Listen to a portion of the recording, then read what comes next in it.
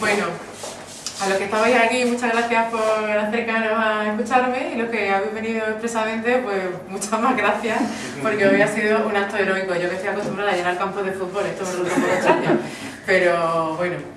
También quería darle las gracias a Jaime y Alberto, que son los que me han invitado a hacer la propuesta esta. Y, bueno, en principio, y como en toda la serie, era me contaron un poco lo que yo hago, ya que se dedica a mi empresa, y un poco cómo nació este proyecto. Y bueno, yo por intentar ser un poquito más original, pues hemos preparado aquí un, pequeño tema para que ahora merendemos y nos tomemos un cafelito, ¿no? Esto es para por y para vosotros.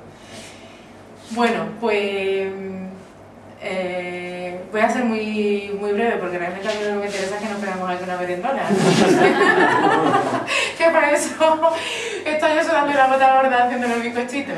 Bueno, eh, mi empresa nace como por necesidad, por autoempleo, básicamente, podría decir, no, porque es que yo era abogada y de repente un día me levanté y dije, no, no, no, me voy a dedicar al mundo creativo y a la pastelería, pero mentiría, queda muy bien y eso vende mucho, la abogada pastelera, que luego me ponen en la tele cuando he salido en alguna que otra entrevista, pero bueno, realmente eh, no fue así, ¿no? Yo soy abogada, soy licenciada en Derecho, especialista en Derecho Público, he trabajado para una empresa que se llama Mesa Solar, que es bastante conocida en el mundo de la fotovoltaica, y en el 2009 pues ya la crisis nos, apretó, nos quedamos sin, sin, obra y por ende sin trabajo. Yo era responsable de, la tramitación administrativa, de poner en planta, o sea, las, plantas en marcha, pero desde el punto de vista de la, de la administración pública. Y bueno, pues trabajaba con ingenieros y con todo esto, ¿no? Era maravilloso, viajar a Madrid, viajar a no sé dónde, bajar una planta, y todo era estupendo, hasta que bueno, pues todo eso se, se acaba. Cuando eso se acaba, pues hay un momento personal duro, ¿no? De me voy a quedar nunca sin trabajo desde que terminé la carrera. Y entonces dices, bueno, ¿ahora qué hago, no? Pues este sector es el que conozco, me he movido mucho al mundo de la ingeniería desde que terminé la carrera, yo que era de letra. Mira tú por dónde, ¿no? Y, bueno, pues mandé el currículum a, todas las empresas que encontré eh, por internet y en, mano, ¿no? Yo llevaba mi currículum allí porque siempre te dicen, no, si te ven, el aspecto físico y tal. y ahí va yo con mi currículum y, mis mejores intenciones, ¿no? Pero nada, o sea, estaba el mercado muerto. O sea, lo de la energía de renovables cuando digan que el futuro es una mentira. El futuro para el paro y la tecnología no está todavía lo suficientemente avanzada como para que nosotros eh, realmente podamos vivir del sol. Y, bueno, pues como no encontraba trabajo, pues me dediqué a lo que hace todo el mundo, estudiar inglés, francés, alemán, y vas ampliando idiomas, porque claro, cada vez tienes más tiempo, ¿no? Y al mismo tiempo pues yo quería hacer cosas que a mí me hicieran sentir bien, porque lo que no quería era coger una depre de no poder levantarme mm, de la cama por la mañana. Y entonces pues dentro de las cosas que a mí me gusta hacer, a mí me gusta mucho cocinar. Y dentro de que me gusta mucho cocinar, pues me gustaba mucho la pastelería. Y entonces un amigo mío que es venezolano me dijo, oye, ¿no conoces las tartas americanas? Claro, automáticamente piensas en, en, la tarta de manzana y en todo este tipo de cosas. Y yo, sí, hombre, pero no me voy a dedicar a vender eso, ¿no? Que hay gente que lo hace, lo hace muy bien. No, no, no. Entonces me enseña una foto en el ordenador, lo veo y me hice la pregunta que todo el mundo me hace ahora, ¿y eso se come? y sí, se comía, y entonces, bueno, pues como eso todavía no, no estaba muy implantado en España, eh, encontré una chica que daba cursos, total, que esto fue en, el 2010, en, bueno, 2009, a finales del, 2009, en diciembre. Hice un curso y tal, me gasté una pasta, remordimiento de conciencia, porque estoy en paro, me gasté un dineral entre el curso y el material, y nada, y no, pero esto era sin pensar que yo me iba a dedicar a esto, sino simplemente por, por, por disfrute personal. Eso fue en diciembre, pasa el tiempo, cumpleaños de mi sobrino, al que le agradezco el emporio Tartachi, porque al que le hice la, primera tarta. Entonces fue, una, una, tarta así muy cuca, bastante complicada para la no noción ni, ni puñetera idea que yo tenía. Y entonces, bueno, a partir de ahí, pues hice la tarta, la puse en Facebook y a todos tus amigos, ¿eres un artista? ¿Eres un artista? Claro, y tú ya te debes a tu público y empiezas a hacerle todas las tartas a todos los amigos que te van encargando, ¿no? Pero ya llega un momento que ya empiezas a recibir solicitudes de amistad en tu Facebook personal de gente que no conoces, que es amigo de fulano de Vengano, que quiere ver tu, tu, tu trabajo. Y tú dices, bueno, claro, este señor me parece muy bien, pero bebe en bikini, pues no, no procede, ¿no? Porque seguro que ve la tarta y yo de paso pues, hacemos un repaso de la foto de esta chica, ¿no? Y, entonces pues dije, bueno, pues todo hay que diversificarlo y vamos a, a ponerle un nombre, ¿no? Entonces ahí así se me dio la venilla empresaria. Digo, mmm, ¿yo puedo vivir de esto? Sí. Vale, venga, vamos a buscar un nombre, ¿no? Entonces ya el tema del naming, yo no tenía ni idea ni de naming, ni de marketing, ni de redes sociales, nada más que lo típico, ¿no? Bueno, a partir de ahí empieza una carrera al estrellato de redes sociales, marketing, todo low cost, por supuesto. O sea, yo me he asistido a todas las reuniones, convenciones, jornadas, mesas redondas y demás que llevan a la palabra empresa y emprendedor, ahí estaba yo, me veréis en todos los foros, allí, mi foto, una de esas cosas por las que yo terminé aquí, y, bueno, y entonces pues nada, a partir de ahí dije, bueno, pues vamos a pensar el nombre, pensé tarta, porque cuando tú te metes en Google, pues lo que buscas es una tarta, no buscas un cake, no buscas un pastel, y, y, chic, porque me parecía que era algo pues, más elegante y no tartarte, harta de arte, tarta de tarta, la tarta del arte y todo este tipo de cosas, ¿no? Entonces, bueno, pues, esto es la realidad. Ya tenía que haber venido tú a la charla de naming. bueno, es que yo me he hecho un máster en, en naming, ¿no? Entonces, bueno, realmente el nombre solo surgió así, pero después de mucho pensarlo, ¿no? O sea, un día por la noche dije, ¡lo tengo! Y entonces yo duermo siempre con una libreta al lado porque me vienen flashes de esto genial, como todo genio que se precie, entonces ya apunté ahí el nombre y tal, y a partir de ahí pues ya hice, lo registré y demás, ¿no? Todo esto trabajando bueno, pues nada, así es como surge la, la, aventurilla, ¿no? O sea, empieza eso para hacerlo a través de amigos y demás. En el momento que yo ya sí soy consciente de que esto ya va para adelante, que fue en septiembre del 2010, y así me delatan, ¿eh? como autónoma y ya empiezo a trabajar. El problema que hay con este tipo de pastelería es que, bueno, todo el mundo empieza a hacerlo a la mesa de su casa, eh, es ilegal, por supuesto, pero todo el mundo empieza así. Yo comentaba que eh, la persona que le hizo la tarta de boda al príncipe Guillermo y a Kate Middleton, pues esa señora empezó en la mesa de su casa y ahora tiene 50 empleados. Yo no sé si eso es lo que yo quiero, al principio sí, pero ahora ya tengo el rebustillo de la libertad y de hacer lo que quiera cuando quiero y, y me parece que es un lujo, ¿no? Ser dueño de tu, de tu tiempo. Entonces yo he montado mi negocio de esa manera. Yo al principio pues no sabes un poco cómo hacerlo, esto yo lo cuento por lo que estoy iniciando a lo mejor experiencia eh, nueva, ¿no?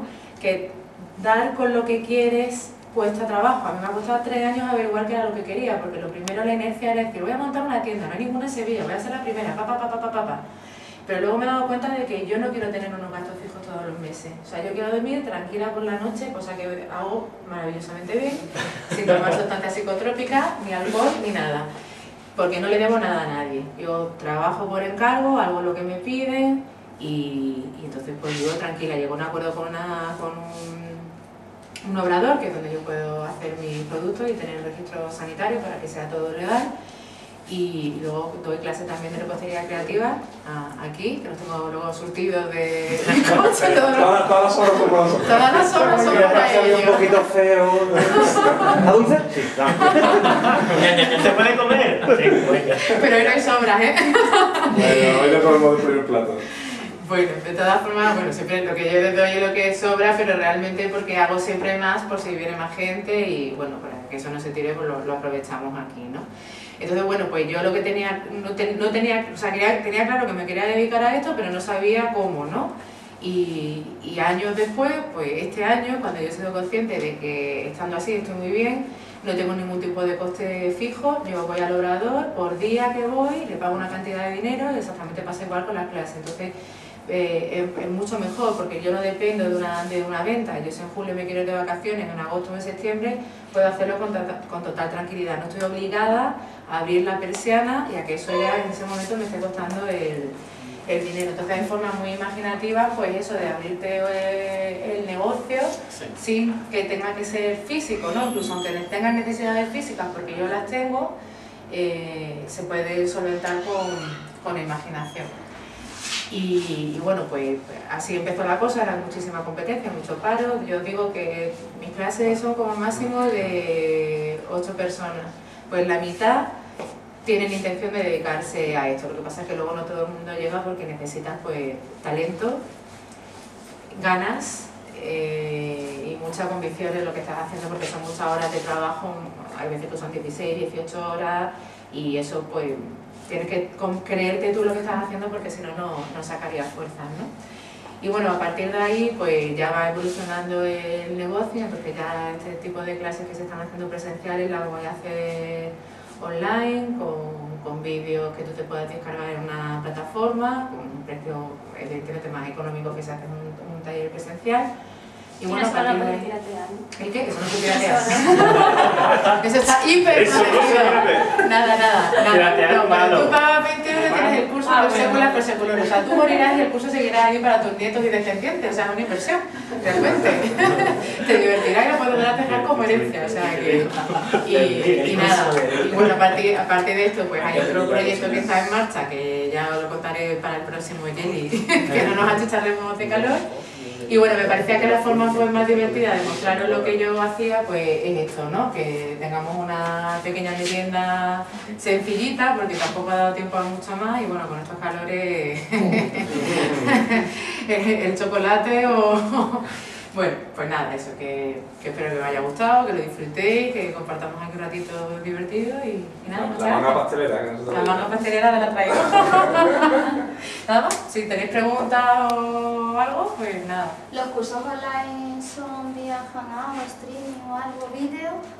¿O cómo es? No, ¿Lo no, no, grabas y ellos pueden seguir? No, tú, o sea, la idea que yo tengo es hacer un vídeo de una clase, un modelado, por ejemplo, de una flor que dure una hora y tú te descargas esa clase, tienes adjunto un PDF donde tienes toda la lista de material. Eh, la idea es abrir un pequeño blog donde la gente pueda ir compartiendo la experiencia de ese curso, se puedan resolver dudas y más bien es cre- crear una, una comunidad. Y tú te descargas el curso completo, pero si quieres ir al punto 3, que es el alambrado de la flor, puedes ir directamente, tiene una cabecera donde se, donde se inicia el curso y, y no tienes que hacerte la hora completa, va a ir segmentado, ¿no? Como los libros de texto que van por capítulos, pues aquí lo vamos a hacer igual. ¿Lo estás montando sobre alguna plataforma concreta de e-learning o...? Me falta la plataforma porque estoy todavía eh, investigando dónde la voy a hacer, pero sí, la idea es esa. ¿Cuáles son las que estás estás haciendo alguna...? No he podido contarlo. Profesional. Para, para la próxima. Bueno, yo te puedo dar una sugerencia. Sí, por Pues podemos supuesto, montarlo bueno, sobre, sobre claro. WordPress, en BuddyPress. Ah, Ay, WordPress, qué bonito. Y Que el cuento una cosa de WordPress. Y el vídeo hacerlo vía pay-per-view. Sí. Es decir, como un bien digital, Sí, paga, la gente paga solo para verlo. Por lo tanto, crea una dirección mm, aleatoria ajá. que solamente es válida en el momento que tú le das la clave. Si la compartes con otra persona, no lo puede ver. Por lo tanto, y que Bueno, ya hablaremos tú y yo.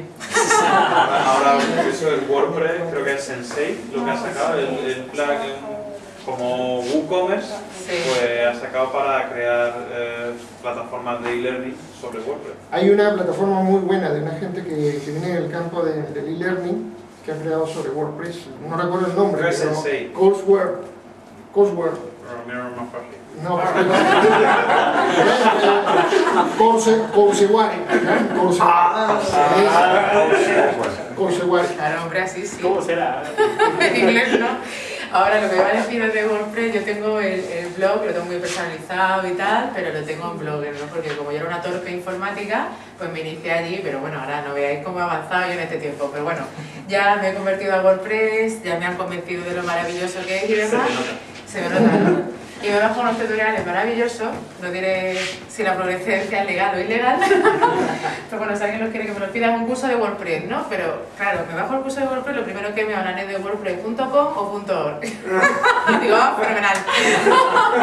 y termina, termina el tutorial sin aclarar el tema, así que me tengo que meter otra vez y digo, bueno, ahora otro tutorial que me explique cuál es la diferencia entre el .com y el .org, bueno, porque sepáis que es el .org que necesitáis para personalizarlo luego la página.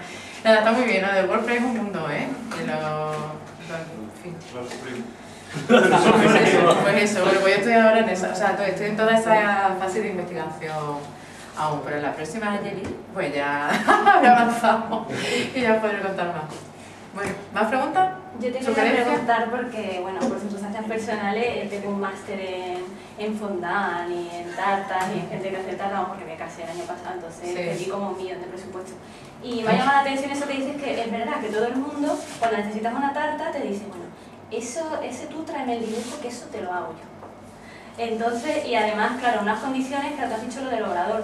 Bueno, pues es la primera vez que escucho a alguien que hace tarta, te tengo que dar la enhorabuena, que me que te da una cierta garantía de que eso sanitariamente está hecho en un sitio y tal. Entonces, quería saber un poco eso, ¿qué opinas tú de toda esa gente que lo está haciendo de una forma muy, muy Pirata? ¿no? Claro.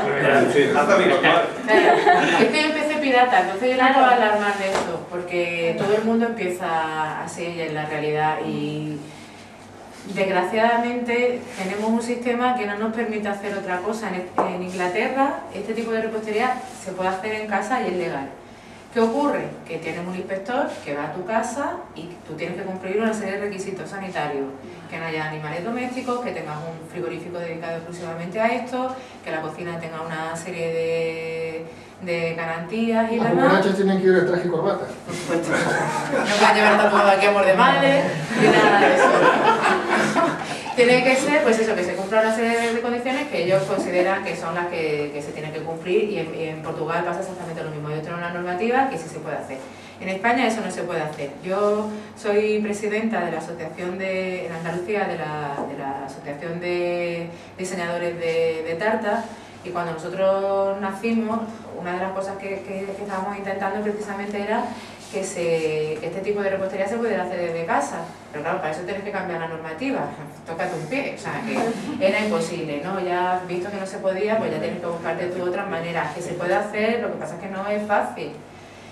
Claro, la gente lo hace desde casa. Mm, Mira, yo he tenido gente en los talleres que yo sabía que vendían al público y se manchan de chocolate y yo me limpio con una servilleta.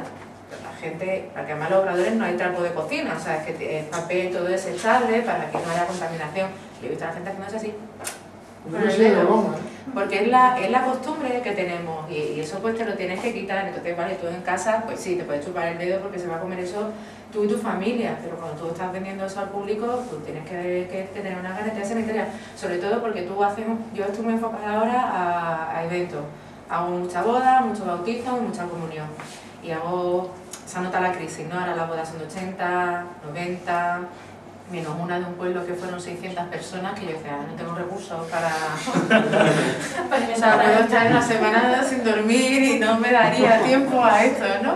Entonces, bueno, en ese momento lo que hago es contratar personal. De hecho, yo el año pasado sí tenía dos personas que me ayudaban, pero este año la competencia ha sido tan voraz que, que ya no he podido contar con ella. Y el problema es este, el problema es que la gente lo hace desde casa. Claro, yo te puedo cobrar por una tarta 30 euros, yo no puedo, porque aunque yo no tenga gastos fijos, pero yo sí le tengo que meter mi autónomo eh, y el obrador que yo estoy Pues pagando. hay una cierta competencia desleal, quizás. ¿no? La hay, la hay, pero es que la hay ahora en todo. O sea, ahora hay- mucha gente hace tocado, hace tarta, hace página web, hace, todo el mundo hace. Y es eso de, hazme, necesito una tarta, no, no, no, voy a comprar un tocado, no, no, no, voy a hacer una página web, no, no, no. O sea, ya no hay profesional de nada, ya somos todos aficionados.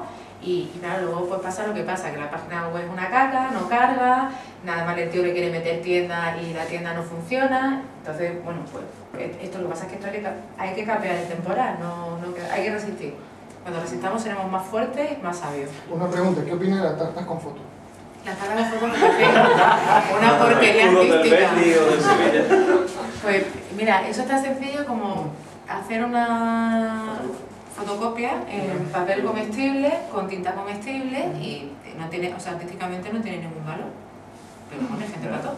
Y te has planteado más diversificar, porque veo, por ejemplo, que nos has montado aquí en cinco minutos una mesa, la mar de mona, y ahora está muy de moda, lo sabrás. Yo las hago, yo monto este tipo de... Claro, la- las de- decoraciones de boda y tal, sí lo estás trabajando también. ¿no? Sí, pero ahí también pasa otra cosa. O sea, todo lo que lleva aparejada la palabra diseño en este país ya sabemos que no se paga. Sí.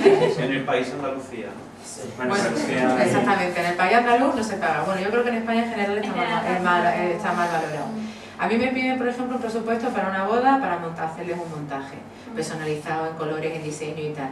Yo tal, o sea, lo que menos me cuesta a mí de ahí es saber los dulces que voy a poner. Lo que más me cuesta es hacer el montaje, el diseño, cómo voy a poner esto, cómo lo voy a decorar, en qué colores va a ir, dónde lo voy a comprar, cómo lo voy a poner, cómo lo voy a distribuir y a partir cuando ya tengo hecho eso, ya hago todo lo demás. Yo puedo estar tres días y eso sí es lo único que me quita el sueño. Me angustia mucho no tener pronto la, la idea. Pero luego la gente se quiere ahorrar eso, te compra las cosas y luego llega el momento de la boda, ¡ah, Dios mío, Dios mío, me cobran 200 euros por montarme solamente la mesa! Pues tendrás que pagarlo, porque yo ya, si te, lo, si te lo monto yo te voy a pedir 500. Entonces, pues no, ya no me, ya no me merece la pena. Pero es eso, o sea que ahora estamos en crisis, todo el mundo se quiere ahorrar dinero, nos queremos ahorrar dinero, pero luego queremos montar este tipo de cosas que son exclusivas, que son mm, diseñadas por para ti.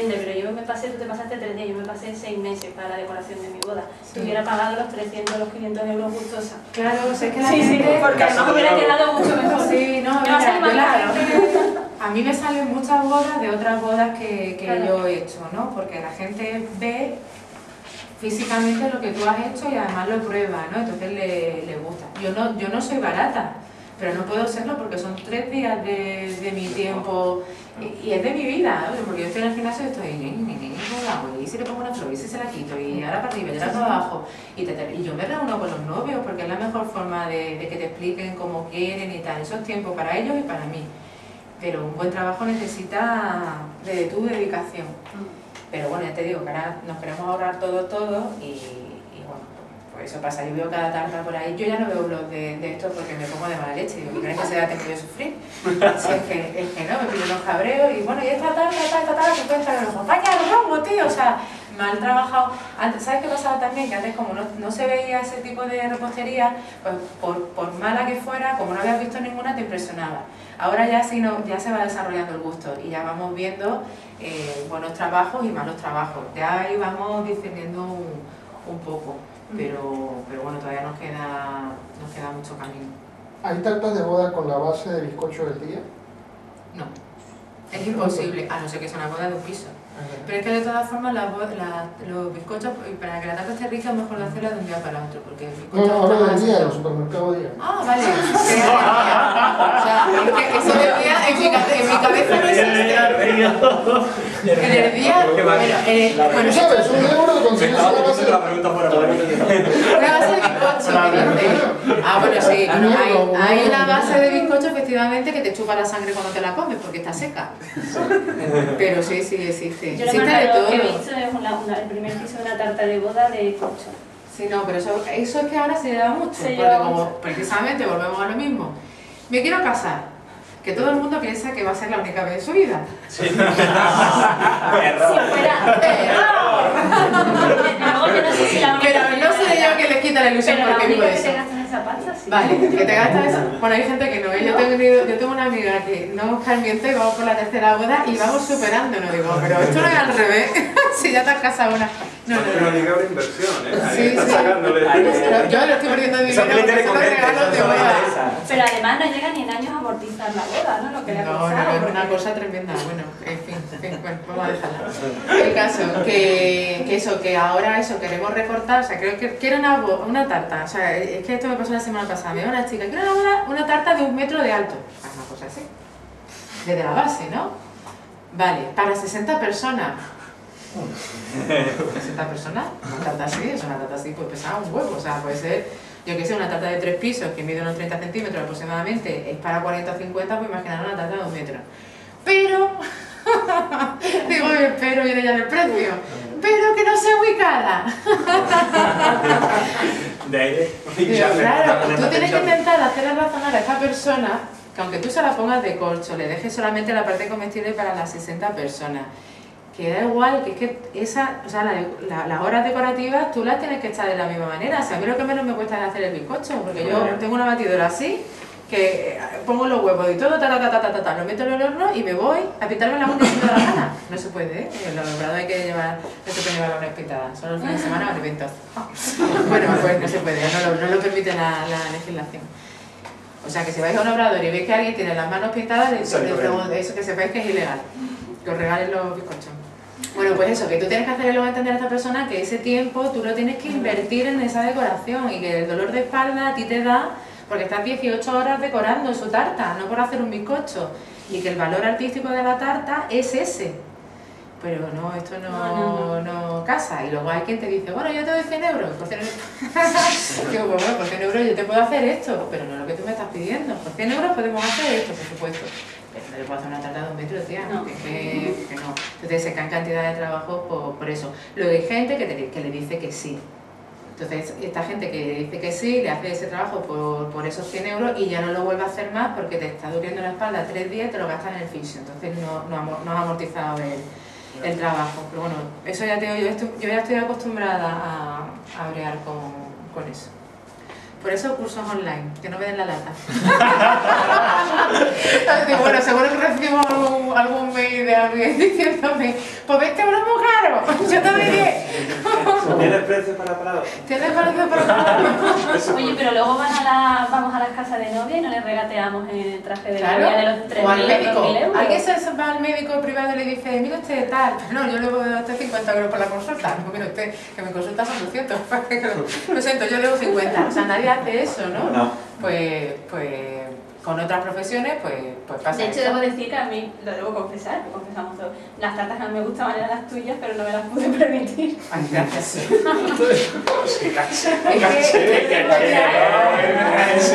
Pero fue con la foto de su tarta la. No, no, no, Quiero una no. como esta. Que va, yo me Pero más barata. cogí una muy básica, muy. Yo te digo que yo me Pero porque mucho en la calidad. Claro, es que yo sé cuál es el trabajo que yo ofrezco, mi trabajo vale eso. Entonces, si no lo quieres pagar, pues, Pues no lo pagas. pagas y te lo compras en otro sitio. Yo hay gente que le digo, mire usted, por ese precio, lo que tiene que hacer es irse a Mercadona y se compra una tarta de oblea que cuesta 6 euros. Y tiene la muñeca fulanita y usted está contenta y tiene una tarta de 6 euros y no de 50. Y aquí todos están contentos. Sí. Es que hay veces que a la gente que ponerle en su sitio, ¿eh? Eso de que el cliente siempre tiene la razón hasta cierto punto. Hasta que No, se bueno, equivoca. no. Tiene- Siempre tiene razón hasta que se equivoca. Hombre, claro, hasta, y- o hasta que es maleducado, que también me ha pasado, eso, ¿sabes? De gente de me a decir, oye, quiero hacer esta tarta, tal, ¿cuánto es el presupuesto? 40 euros, uf, eso es carísimo. Bueno, pues hago lo ya me cuenta si la tarta es fácil o no. Y punto. Esto es porque estamos aquí en Petit Comité, ¿eh? Los Sí, campos de El vídeo fútbol, a no. YouTube, ¿eh? En los campos de fútbol no. Bueno, pues eso pasa, que, que, que hay gente que hay gente para todo. Y claro, ese tipo de gente, tú tienes que, tienes que frenarle y decirle, bueno, pues es tan fácil, pues son- usted. no son tu. Que es mucho, claro, no. Es que lo que pasa es que cuando estás empezando cuesta mucho trabajo Sí, decir decir que no. a los trabajos. Y yo me he equivocado, ¿eh? Y he hecho cosas de decir, no tenía que haberlo hecho y he estado diciendo no tenía que haberlo hecho y lo he entregado. Y he dicho no tenía que haberlo hecho y me he ido diciendo no tenía que haberlo hecho. Pero me ha, me ha pasado muy pocas veces porque ya yo aprendo, ¿no? Y me pasa una vez o dos veces y ya no lo hacen más. A veces porque te ponen un compromiso de mira, tal, y trabajar gratis, no lo hagáis. Porque no vale para nada. No, o sea, que lo hagas tú ¿no? pues si tú lo quieres para ti, para ofrecerlo para algo tuyo. Pero mm, me ha pasado con gente de aquí que es muy famosa y muy tal y le has hecho el trabajo gratis, gratis total, ¿eh? Y, y luego sí, ah, muchas gracias, fenomenal. Pero ¿cómo que muchas gracias? usted, usted no está haciendo esto y le van a pagar, pues yo también. ¿eh? Pues eso... Pero pasa con todo, no sé si conoces la marca Lulares, la... es una marca de bolsos de aquí de Sevilla, bueno, que los bolsos cuestan entre 18 o 25 Mm. euros, a ver, son bolsos artesanales, los Bueno, pero es que, a mano. es que nada, es que lo que es artesanal es que no se valora. Pero es que la gente me le dice en la cara que un bolso muy parecido lo, lo ven los hippies por 6 o 8 Pues euros. cómprate el de los hippies, que seguramente sea de plástico, pero sé que cada uno... Mira, yo la gente que, además ya lo notan, ¿no? Que te pregunte, piden un presupuesto y tal, tú ya sabes si esa persona te va a comprar o no. Y entonces yo ya me vuelco, digo, mira, vámonos, para adelante. Y esto no... Y luego hay gente que me cae bien y le hago un descuento, porque me sale a mí de la nariz. Pero porque tú quieres, no porque Claro, la gente claro, te lo pero no porque me lo imponga, pero Sí. claro, si tú me cargas una tarta de boda súper grande, con la tarta, con el no sé qué, con no sé cuánto y tal, yo a esa persona seguro que le voy a hacer un descuento, seguro, Claro. seguro, pero porque yo quiero hacerlo y porque entiendo que me está comprando un montón de cosas y yo quiero tener una atención, o lo regalo algo, le digo, oye, pues esto te lo voy a regalar yo, lo que sea, pero no me lo impongas tú, porque si ya me lo vienes imponiendo, ya... Pero eso, cuando estás empezando, tú lo que quieres es vender, vender, que eh, sea todo. Claro, pero aprende. Yo el primer año a mí me dieron por todos lados y aprendí una barbaridad. Pero me quedo lo más, entendemos. Entendemos, vamos a hacer terapia, ¿no? Te queremos más. ¿Para cuándo te veremos en Explora o en MTV? Como, como so, so.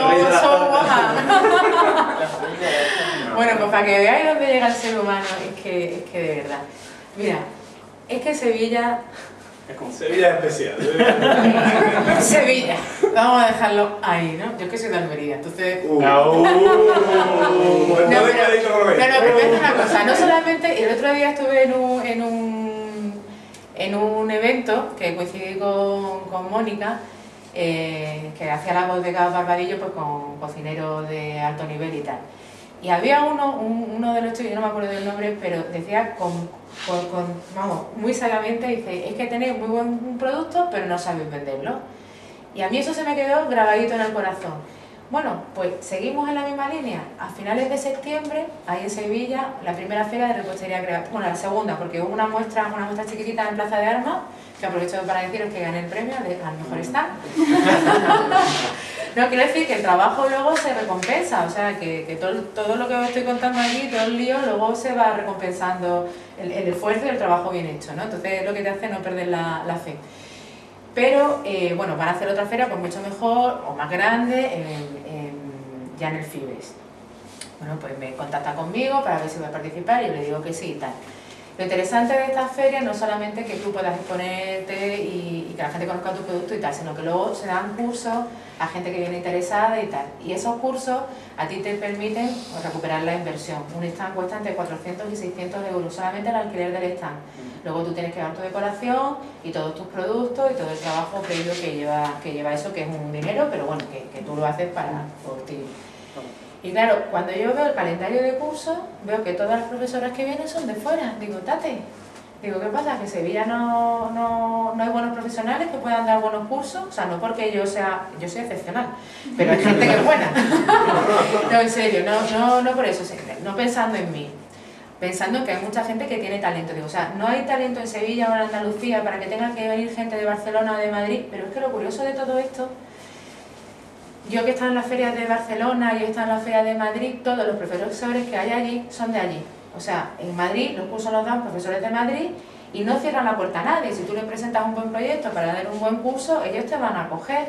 Traen profesores internacionales, claro, en España yo llevo cuatro años, gente que lleva diez años, que, que tiene unos currículos y hacen unos trabajazos. A mí me queda todavía por aprender muchísimo, pero creo que yo ya tengo un nivel que puedo dar buenos cursos de modelado de flores y tal, ya me están llamando de fuera de, Sevilla para ir a darlo, entonces bueno, eso es que, la cosa va bien. Y claro, yo hablaba con esta gente, me volvieron a llamar ayer, digo, es que yo discrepo con vosotros en este planteamiento. Es que no hay talento en Sevilla para que lo explotemos, entonces ¿por qué viene la gente de fuera? Le dije, mira las las ferias, tal, tal, tal, tal, todos los profesores que hay allí son profesores de allí, porque ellos están potenciando el talento. Digo, ¿esta feria para qué se hace?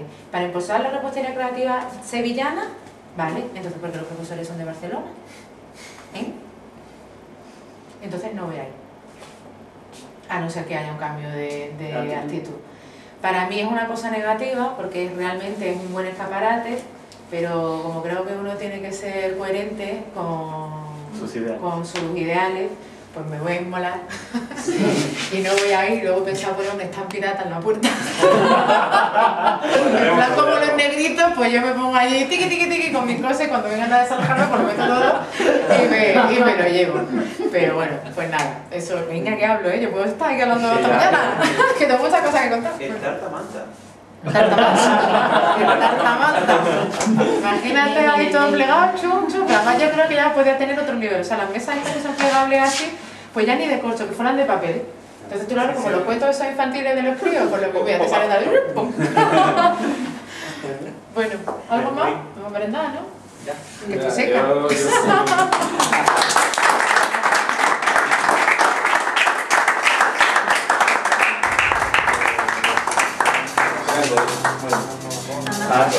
defensa que cuando no te pude comprar la taza te llamé para entrevistar. ¿Te acordarás? Te entrevisté en la radio. Ay, sí, que te invitan para... Ay, no, no, no, no, que te invitan a... Ah, sí, sí, sí. Que dije, no puedo porque la de la tarta, mucho y la tarta. Pero...